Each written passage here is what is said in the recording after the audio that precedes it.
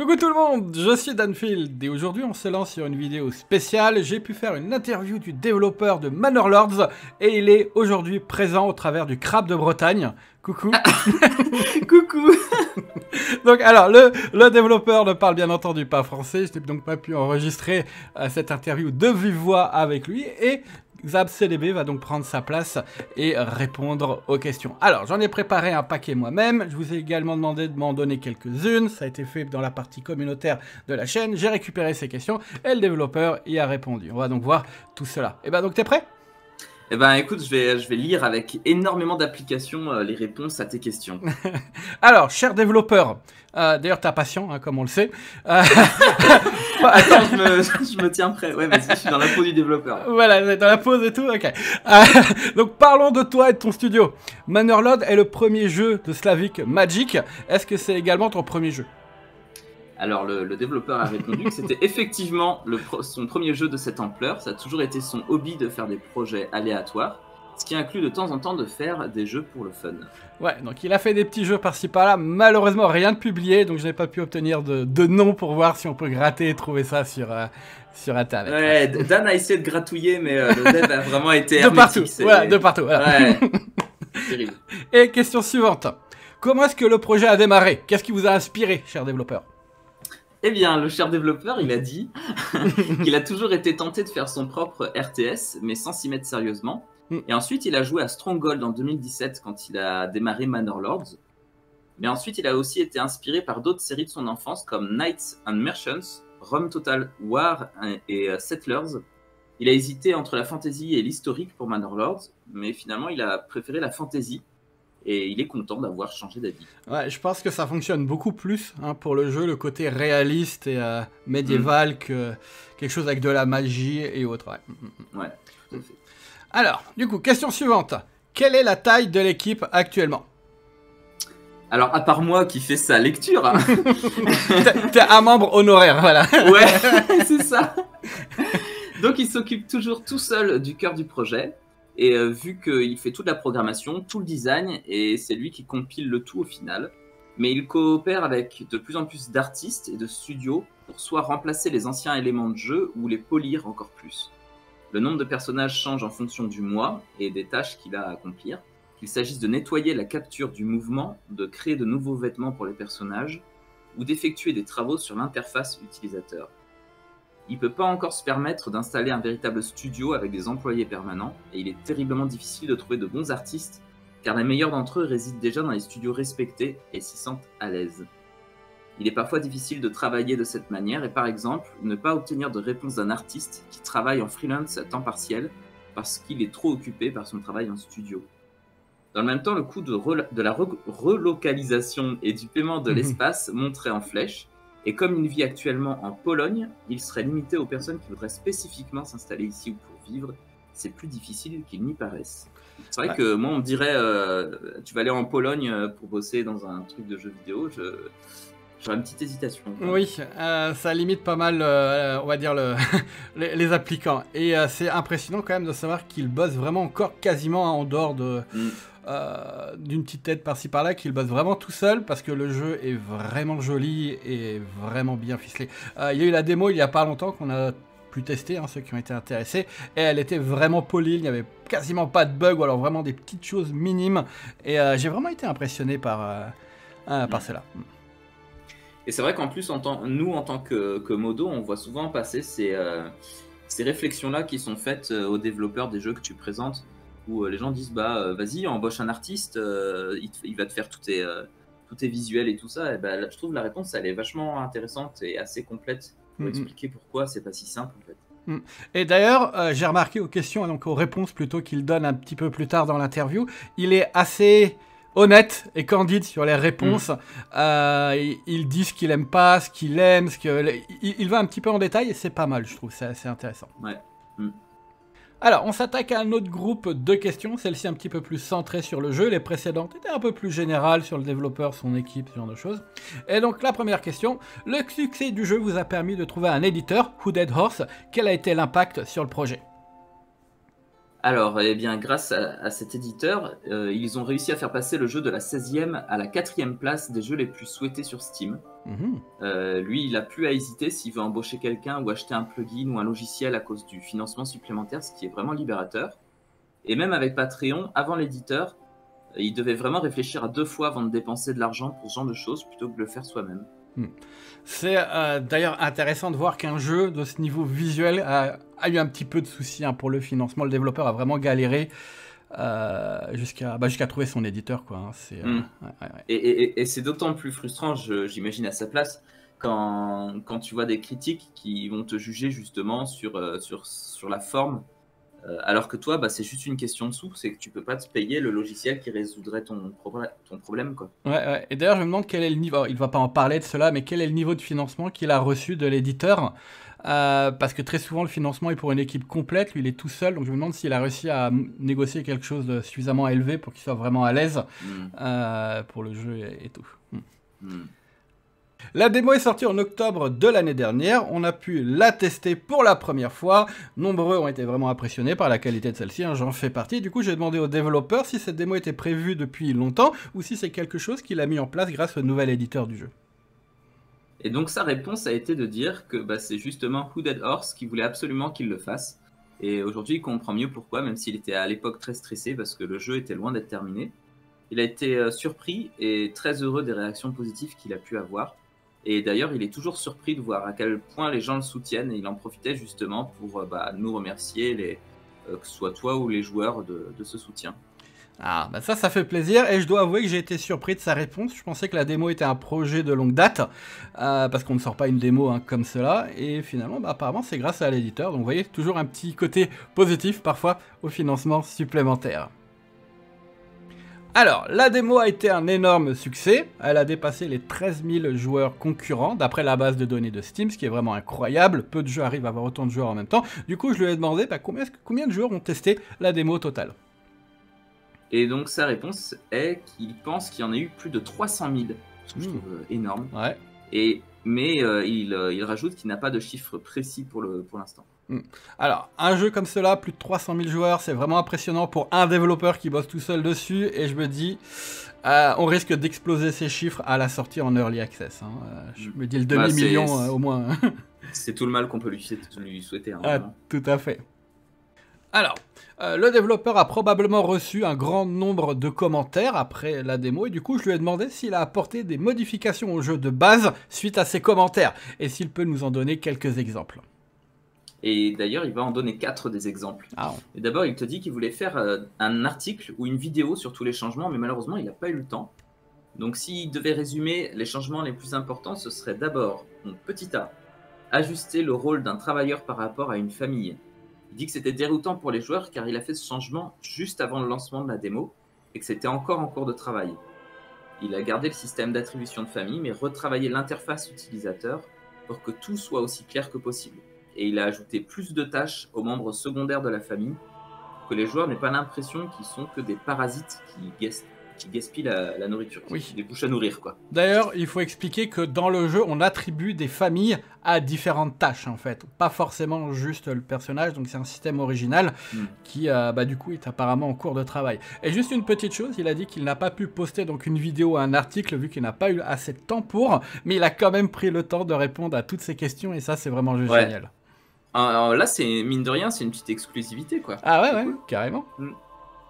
Le, deuxième exemple de modification qu'il a faite, c'est il dit que les joueurs ont eu du mal à construire le manoir. Ah oui. Le mhm. système de construction du château a été entièrement retravaillé et un écran de planification du château a été introduit.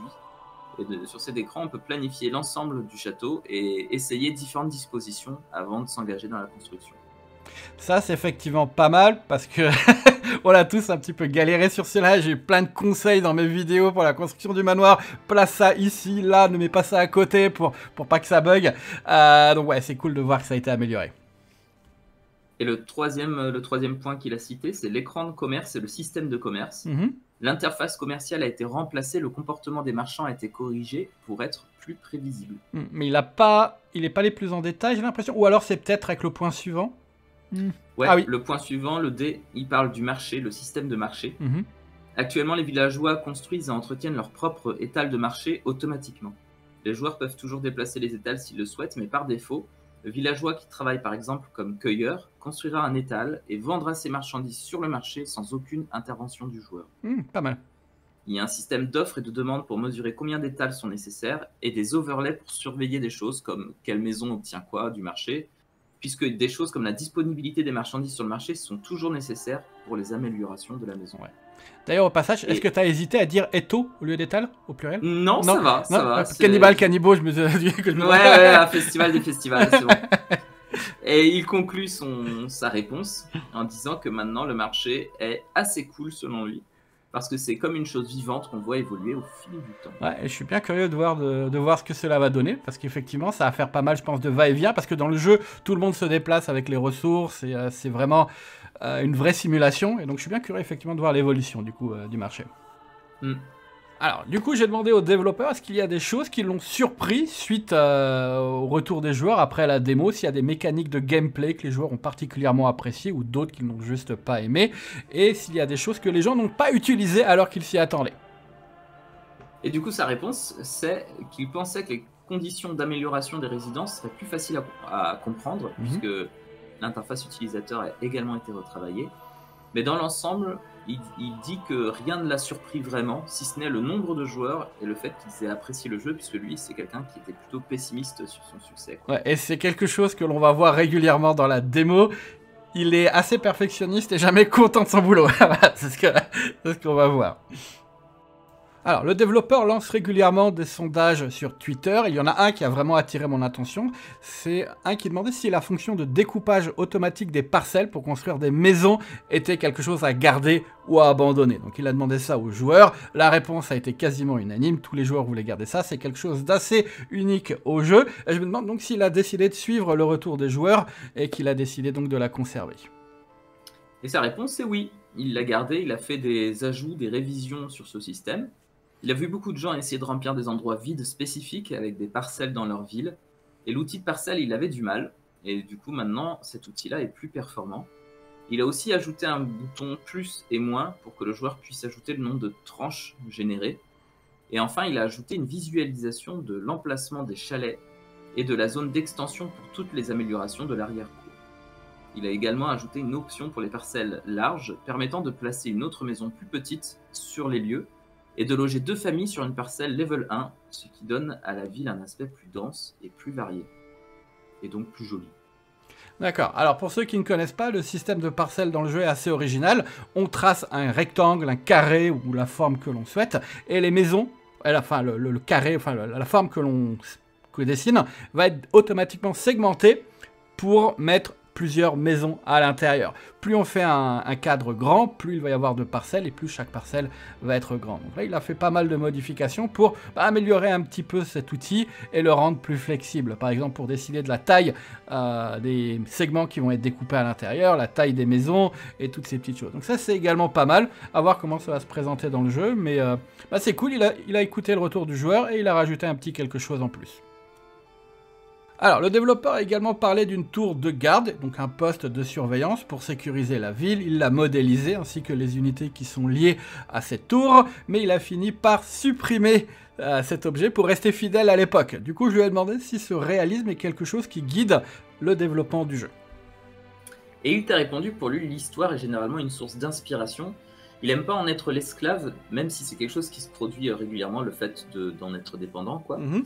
Et euh, il pense, euh, enfin, il écoute de plus en plus les conseillers historiques, et plus il les écoute, plus il en devient accro et plus le, le jeu semble réel.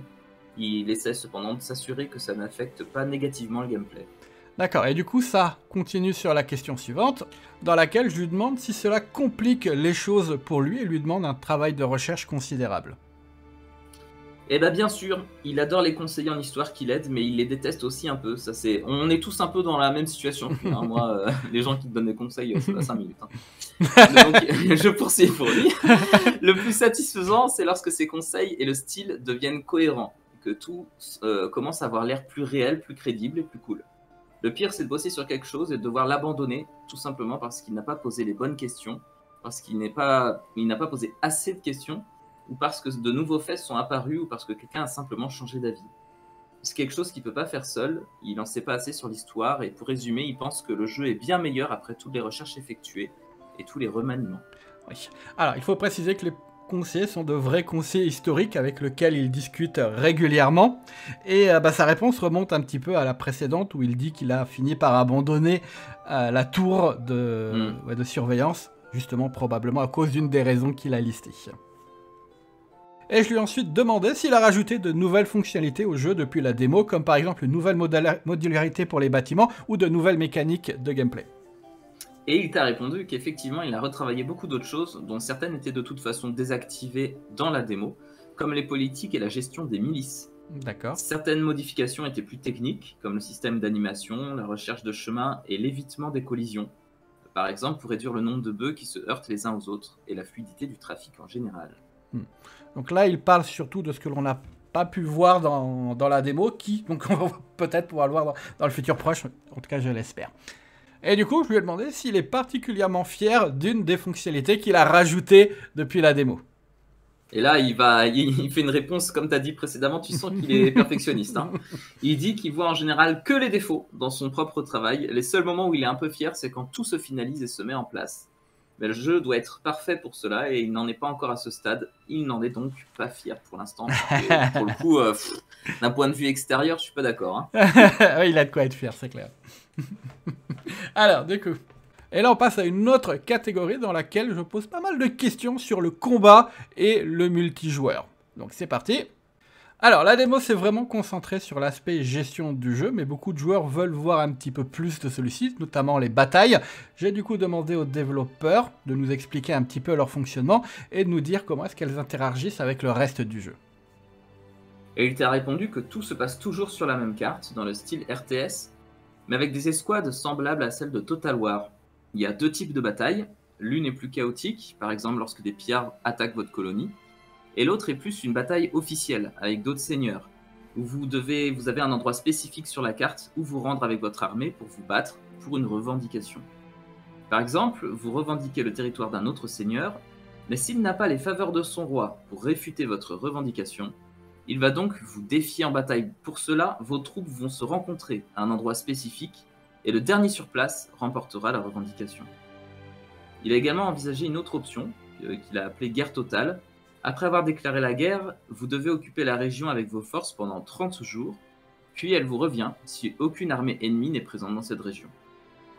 Mais le jeu se termine de cette façon trop rapidement et il pense que de toute façon le système de revendication est plus amusant lui et les alpha-testeurs, ils doivent encore tester donc, euh, le mode revendication pour s'assurer que c'est la meilleure façon de jouer. D'accord, donc je me dis peut-être que ça peut être une option plus tard, car il va y avoir... Le jeu va être assez sandbox, je me dis peut-être qu'il peut nous laisser euh, modifier cela dans les options pour décider le type de bataille et le type euh, de victoire qui nous attend. À voir, hein, ça, il ne me l'a pas dit. Mm. Et pour continuer sur les batailles, j'ai demandé aux développeurs où est-ce qu'il en est dans les mécaniques de combat et s'il y a plusieurs points sur lesquels il travaille encore. Eh ben, pour l'instant, il en est vraiment content personnellement. Il a envisagé de simplifier certaines mécaniques de positionnement, de comportement, comme fusionner le comportement agressif, qui consomme l'endurance plus vite, avec le positionnement de poussée, euh, qui fait avancer les lignes de soldats vers l'avant, en une seule position, agressive, poussée. Il aimerait aussi rendre l'utilisation de l'endurance plus importante, car il est actuellement trop facile de courir partout. Ça, c'est pas comme dans la vraie vie, ça. Hein. les flèches sont infinies, ce qui n'est pas du goût de tout le monde. En gros, il, il dit que, selon lui, il faut équilibrer, peaufiner le jeu et continuer à développer l'IA. Donc l'intelligence artificielle, ouais. Euh, donc là, il parle de quelques mécaniques que l'on n'a pas encore pu voir. Ça a l'air d'être intéressant. Peut-être un système de formation et, euh, bah, de positionnement de l'unité, comme il le dit, pour une position plus agressive ou autre. Euh, ça peut être intéressant à voir, mais bon, là, on n'a pas beaucoup de contexte, donc c'est dur. Ouais, c'est un peu trop flou là. Ouais, ouais. Hmm. Alors, question suivante. Quelle est la durée moyenne d'un combat? Donc c'est ce que je lui ai demandé. Et eh bien lui, il t'a répondu que c'était environ 10 à 15 minutes, car les armées ne sont pas très nombreuses pour l'instant, mais euh, ça, peut, changer. Ouais, parce qu'il a pas mal évolué. À nouveau, hein, au début, c'était vraiment un type de gameplay différent. Plus il progresse, plus il rajoute des mécaniques et plus il adapte les choses. Et j'ai enchaîné sur une question qui m'a beaucoup été posée dans les commentaires et même dans la partie communautaire de la chaîne, qui est donc la question du multijoueur. Est-ce que c'est quelque chose qui est possible, même juste envisageable dans le futur ou pas du tout? Eh bien, il dit que oui, c'est possible et ça a été étudié, mais il ne peut rien confirmer pour l'instant. Hmm. Suspense. Suspense, on va voir. Donc en tout cas, apparemment, c'est quelque chose auquel il songe. À voir s'il a commencé déjà à, adapter le moteur du jeu pour préparer cela dans le futur, parce que sinon, ça va vraiment être compliqué pour lui hein, de tout refaire. Et nouvelle catégorie. Dans celle-ci, je pose quelques questions pour avoir un petit peu d'informations sur le futur du jeu. Et la première question est de savoir s'il y a une nouvelle démo qui est prévue, comme par exemple au prochain festival Steam. Eh bien, il te répond qu'il y aura probablement une preview avant l'accès anticipé qui sera pour les créateurs de contenu, c'est-à-dire toi, mon cher Dan, les critiques et la presse. Et là, il y a des jaloux, là. ouais, là, il y a des jaloux, là. Et on lancera ensuite l'Early Access. D'accord, bah c'est une bonne chose, c'est-à-dire qu'on va probablement recevoir une nouvelle version du jeu d'ici peu, vu que l'Early Access est pour le moment annoncé cette année. Euh, et là, je me rends compte que j'ai à nouveau répondu à la question suivante, le Pogzav. Mais encore, les gens se rendent plein de compte parce qu'on a fait beaucoup de, cuts. Euh, ça arrivait mille fois que Dan, il fait un petit commentaire et c'est juste la question suivante. À, chaque fois, à chaque fois, je me fais avoir. Et donc, bah donc, là, la question c'est est-ce que la sortie du jeu est toujours prévue pour 2023 Et est-ce qu'il y a une early access ou une version complète hein, de, prévue à la sortie?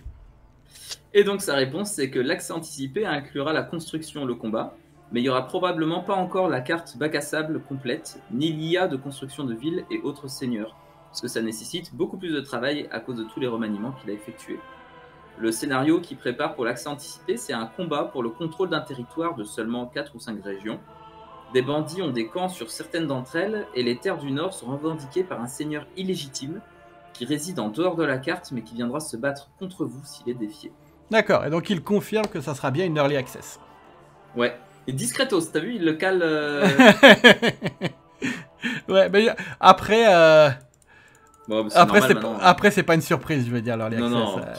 C'est plus l'inverse qui est surprenant. Ouais, ouais. Euh, alors, dernière question de, du futur du jeu. Je lui ai demandé quels sont les projets qu'il a après la sortie du jeu et s'il compte travailler dessus avec des extensions ou du DLC ou est-ce qu'il a un nouveau jeu de prévu? Et lui, il te dit qu'il pense que c'est un type de jeu parfait pour étendre, donc euh, faire ce que tu as dit, des extensions, des DLC. Mhm. Il a fait un sondage sur Twitter et les gens semblent vouloir des vikings. Et personnellement, il adorerait le, 15e siècle ou les châteaux teutoniques. Mais il y a tellement de choses à imaginer, il a hâte de travailler dessus. Mhm. Alors, je me dirais, je préfère effectivement ce qu'il propose. Les vikings, on les voit pas mal dans les jeux dernièrement. Donc, euh, ouais, j'aimerais bien son idée qui est un petit peu moins représentée dans, dans le jeu vidéo et qui serait intéressante à découvrir. Ok, et donc là on passe à la dernière catégorie, les questions que vous avez posées en partie communautaire. Donc j'en ai récupéré un petit peu moins d'une dizaine, vu que beaucoup sont revenus régulièrement. Euh, je les ai consolidées et ben, on va voir ces réponses. Alors, la question qui a été la plus posée dans les commentaires est celle de la date de sortie. On y a déjà répondu, mais ça a été vraiment beaucoup demandé. Donc alors, on est reparti. Je lui ai demandé euh, quand est-ce qu'il prévoit de sortir le jeu? Est-ce que ça sera euh, une early access. Et donc il te dit que bah oui, c'est 2023 la date prévue pour la sortie de l'early access. Cependant, le jeu ne sera pas encore complet, bah, ce qui est normal. C'est une early access. Exactement. Euh, une autre question qui a également été répondue, mais bon, hein, c'est normal, vous n'aviez pas les réponses du développeur au moment où vous avez posé les questions. Euh, donc c'est de savoir s'il va y avoir une autre démo pour montrer l'aspect militaire du jeu, ou si juste une démo générale pour que les gens puissent essayer le jeu à nouveau avant la sortie en early access. Et donc, euh, comme tout à l'heure, il répond que non. La prochaine version prévue, c'est l'accès anticipé et elle inclura le combat. En dehors de la version spéciale que je vais recevoir. bien sûr.